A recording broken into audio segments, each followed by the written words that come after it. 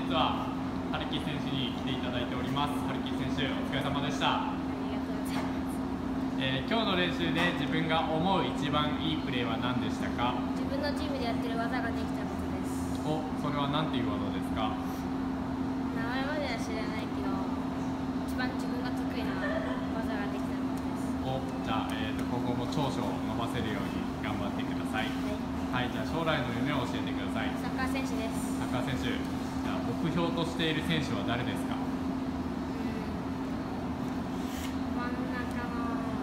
香川選手。香川選手香川選手のどんなプレーが好きですか？真ん中でたくさんボールをもらって、ドリブルをしてスルーパスを出す。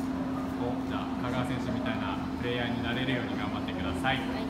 はいじゃあ、えー、と最後に市川校に来るコーチで一番好きなコーチは誰ですかスバルコーチです。スバルコーチスバルコーチ人気だねえー、とお疲れ様でした。ありがとうございます。